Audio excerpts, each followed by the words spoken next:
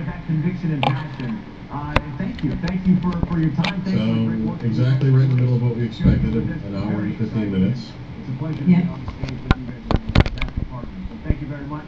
Thank you. I, I, I One of our could be wrong, listeners, and correct me I'm wrong, but I believe the only legitimate new information announcements, all involved not just the Xbox 360, Kinect. Yeah, it is. That's Um, rather And now, yeah, Kinect for Windows is now available, available for pre-order on Amazon, according to one of our What does that mean? listeners. So what does that mean? Is it uh, the software? It's the hardware, hardware. It is literally okay. So is it the same hardware? It's a sensor that looks like the one that we already have.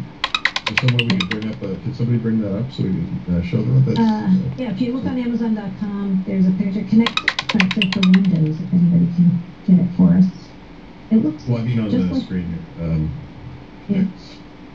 Sensor for Windows. And I don't, I don't see it. So, so maybe just connect the Windows. Yeah, I don't see it. yeah. Um, yeah. I mean, I would assume, uh, given the timing and, and the fact that they didn't show it, I mean, it, if there was going to be a new version of the Kinect that was coming out right now for Windows, Right. I mean, they would have shown that. Yeah. They seem very Yeah. eager to Kinect, so, Yeah. but they didn't. It's you two, know, so I, two I forty nine, two forty nine ninety nine. Really? yes. That's really Yep. expensive. There it is. Isn't the Kinect nine dollars for? Uh, Yeah. But this is